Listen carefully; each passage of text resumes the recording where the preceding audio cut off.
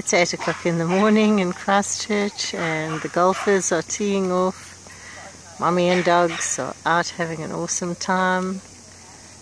There are others who are doing their exercises on the lawns and the park run runners are running along.